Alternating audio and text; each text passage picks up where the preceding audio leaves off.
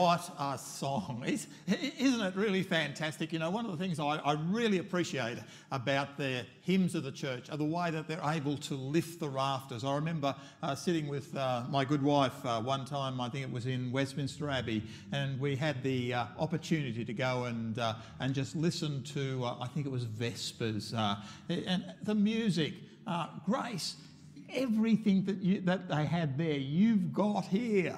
Um, I want you to imagine that you're sitting in Westminster Abbey uh, at, the, uh, at the present uh, time. Uh, now, look, folks, we'd like to have a really big welcome uh, to the Ambassadors Choir. Welcome, it is so good to have you here so close to Christmas. Do you know how hard it is to be able to get people to come together this close to uh, uh, this close to Christmas. And uh, uh thank you so much for for coming. Uh, welcome to Christmas 2022. Can you believe that another year has already uh, run its run its course? welcome to church members Welcome to our community members. You know, I'm, I, am really conscious that uh, we do have quite a number of community members here tonight. Uh, thank you so much for coming and joining with us. It's lovely uh, to welcome you into our uh, church. Can I just ask a question? How many of you are currently on holidays? Ah, yeah, good, good. How many of you, today is the first day of holidays? Yes, yes, we've got some of the boys and girls putting up their, big, uh, their hands as well. Tell me something. How many of you are not on holidays but are exhausted anyway? yeah, yeah, yeah. It's, um, it's quite amazing how this time of the year is able to exhaust even the fittest, uh, the fittest people It's been an amazing year, hasn't it? Do you know, as I look back on uh, 2022, uh, I am just so conscious of some of the events that have taken place. You know, right back there in February, we had uh, Russia uh, invading Ukraine, and that's been on our telly screens the whole, uh, the whole year. We had Queen Elizabeth uh, passed away, and a brand new king uh, go to the uh, throne. Also, just a month or two back, we had our 8 billionth person join planet Earth. It's been a year of change. Here in Australia, of course, right now we're dealing with the, with the floods. And I know there are uh, some of our, our friends who are uh, dealing with that, uh, that issue right, uh, right now. Do you know, what are we doing here tonight? The thing which we would like to do is just praise God. We're conscious that this is the Christmas season. We're conscious that this is a season where many people remember the birth of Jesus Christ. That's exactly what we want to do tonight. We want to remember the birth of Jesus Christ and all it means to us. It is wonderful to have you come and join with us. I'm Pastor Gary. I'm the pastor of the Seventh day Adventist Church here at, uh, here at Brighton. Folks, just if I could just make a couple of announcements. Uh, firstly, if you could just check that your mobile phone is, uh, is turned off, that'd be greatly appreciated. Also, if you need the toilets, look, the easiest way to get to the toilets is actually just out this uh, door here into the foyer. Go outside is probably the easiest way to the door at the very end, and that'll lead you through to the, uh, to the toilets. So, folks, let's bow our heads together in prayer. Father in heaven, Lord, we come to you right now. We want to say thank you for all that you've done for us. Lord, thank you for being the Creator. Thank you for sending Jesus Christ. Thank you for what this season does actually cause us to remember. Lord, I pray that your Holy Spirit will be here with us tonight as we share together. We ask, we pray in Jesus' wonderful name. Amen.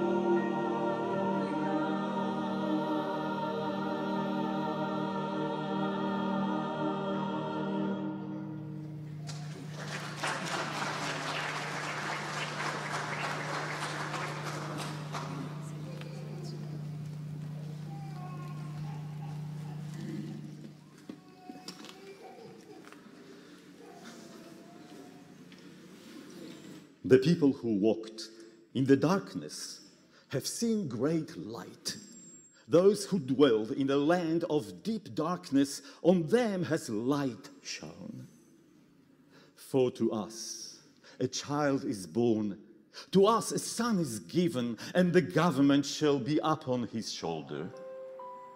And his name shall be called Wonderful Counselor, Mighty God, Everlasting Father, Prince of Peace.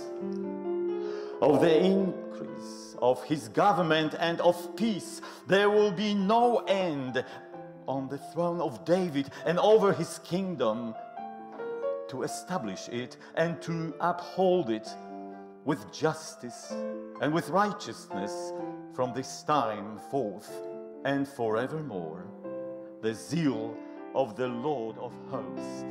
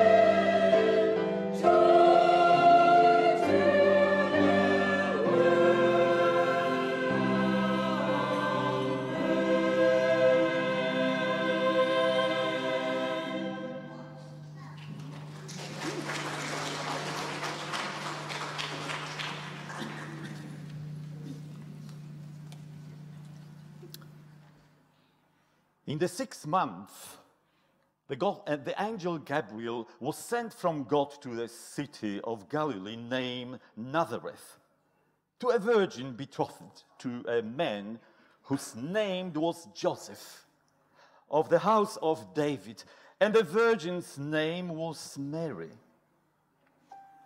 And he came to her and said, Greetings, O favored one, the Lord is with you. But she was greatly troubled at this saying and tried to discern what sort of greeting this might be. And the angel said to her, Do not be afraid, Mary, for you have found favor with God. And behold, you will conceive in your womb and bear a son, and you shall call his name Jesus. He will be great and will be called the Son of the Most High. And the Lord God will give to him the throne of his father David, and he will reign over the house of Jacob forever. and of his kingdom there will be no end. And Mary said to the angel, How will this be since I am a virgin? The angel answered her, The Holy Spirit will come upon you, and the power of the Most High will overshadow you. Therefore, the child to be born will be called Holy, the Son of God.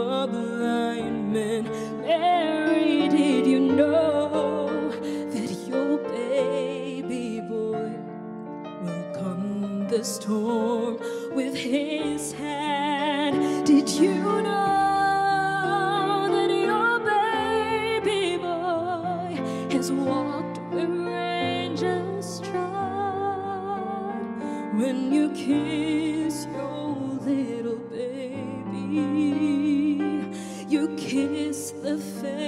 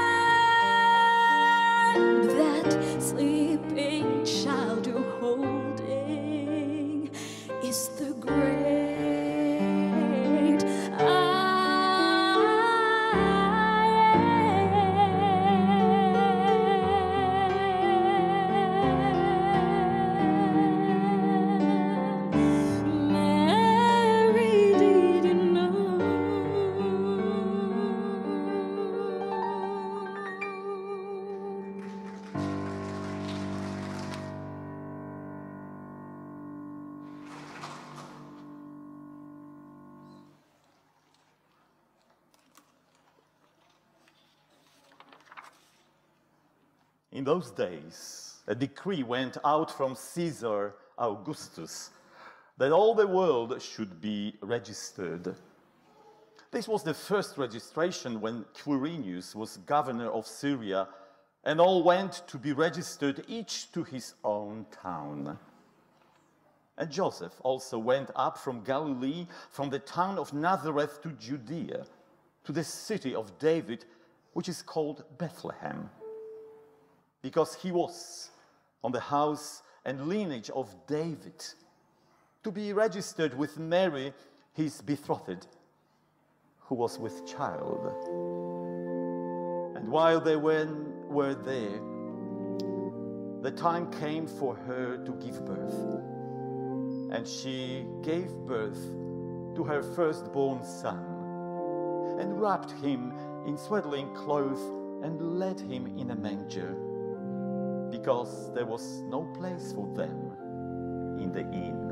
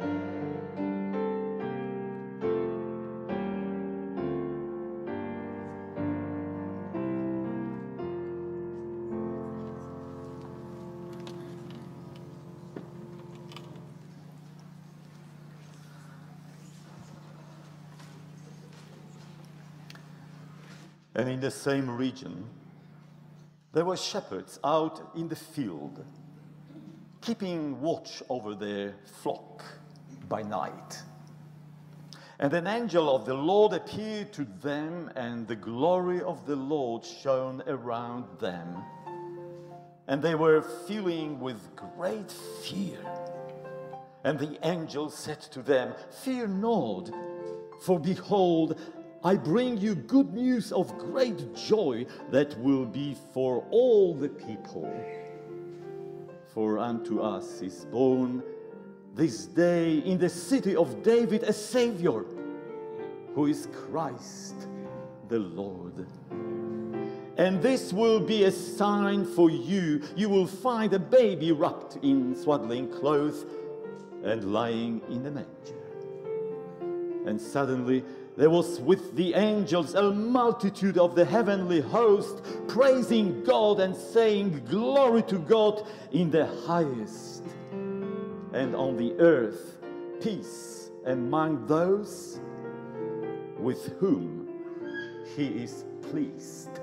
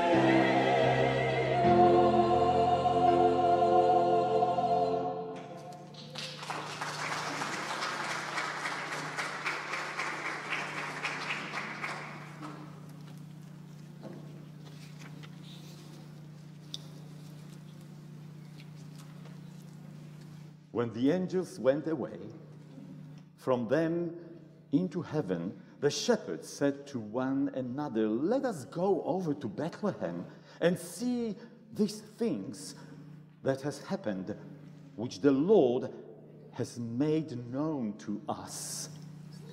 And they went with haste and found Mary and Joseph and the baby laying in a manger. And when they saw it, they made known the saying that had been told them concerning this child. And all who heard it wondered at what the shepherd told them.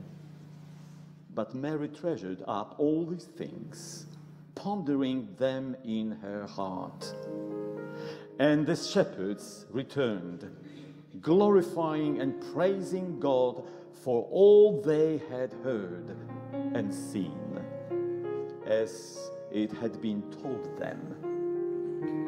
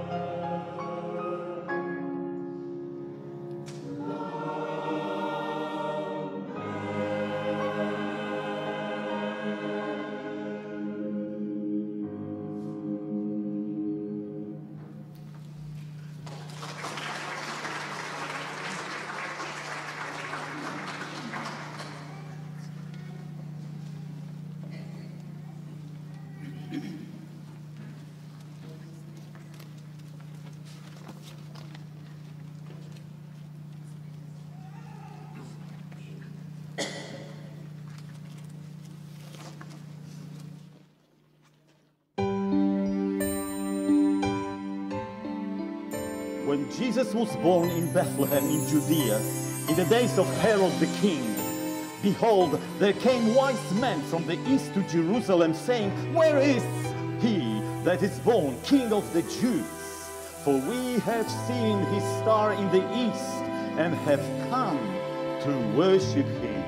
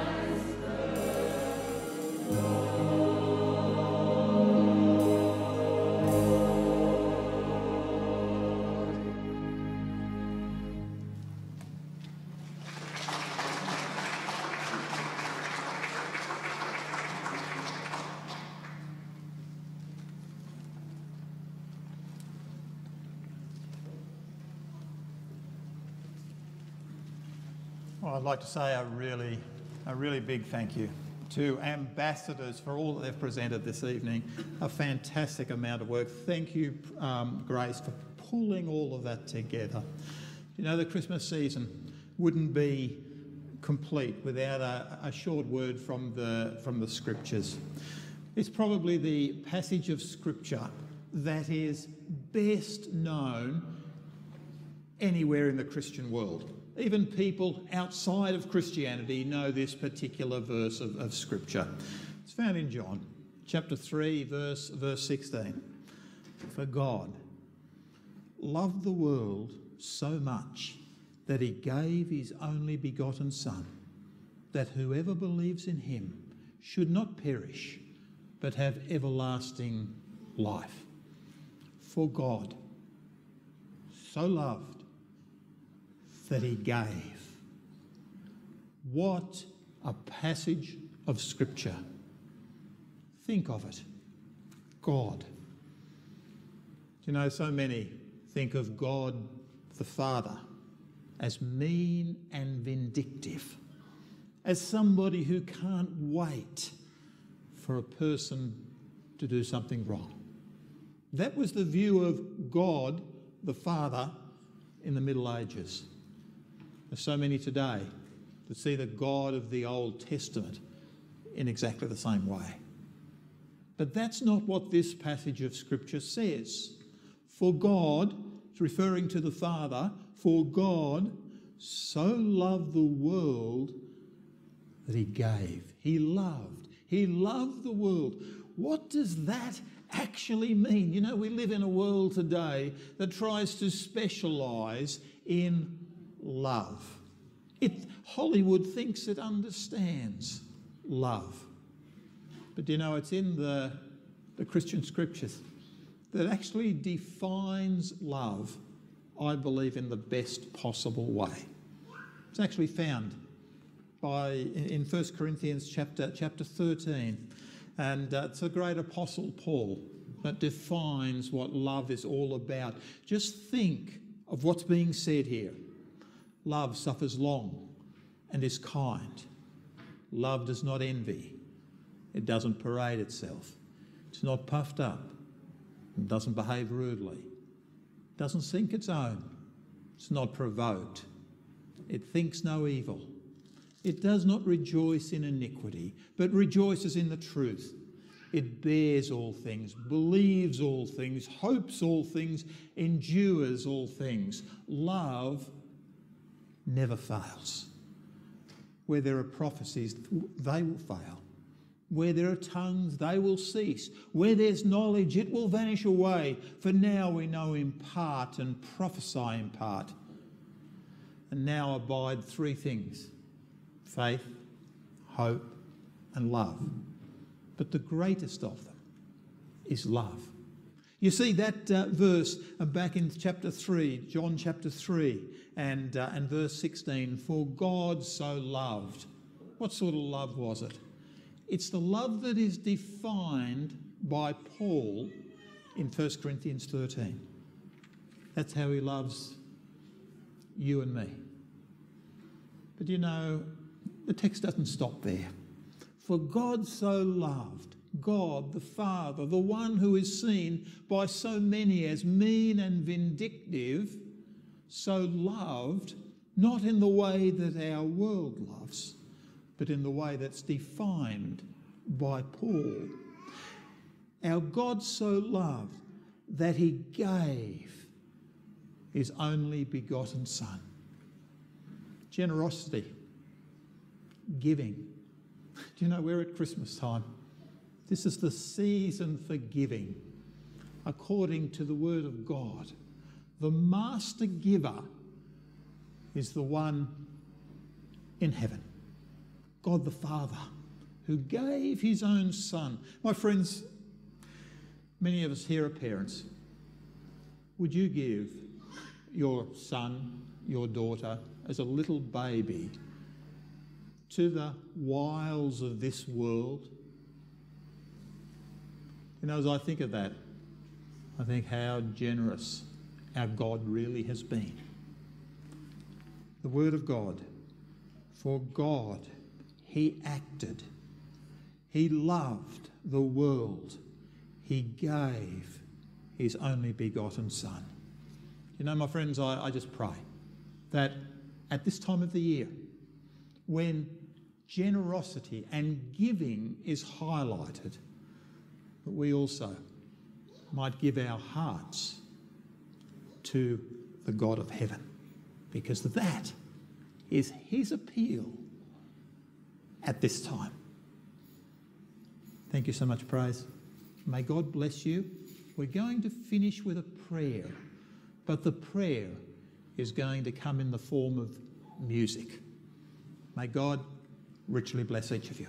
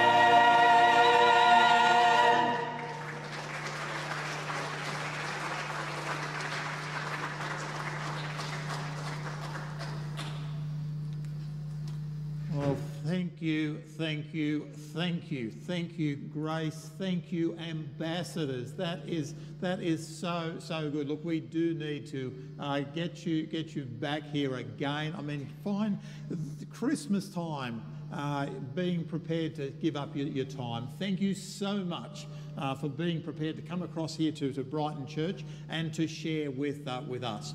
Folks, that does bring our, our program this evening uh, to a conclusion, but we do have uh, out in the hall, we do have a wonderful uh, meal. It's, uh, I think it's uh, some some curry made by some of our Indian Indian folks that would love to actually be able to share share with you. So look, if you would like uh, to uh, uh, to be able to, uh, if you've got time to stay and uh, just share with us, we'd love to have you come and join with us. Uh, this is this is a wonderful meal. I've just um, asked. Um, uh, our, our, cook to uh, to please come and teach me how to uh, how to produce this this type of food. It really is is tremendous. Uh, guys, if you'd like to come and join with us, uh, we, uh, we'd love to have you come and join with us in the, in the hall. thank you so much for joining with us. thank you so much for blessing us with your attendance, and we really look forward to you perhaps joining us again Uh, next, uh, next year. May God richly bless you.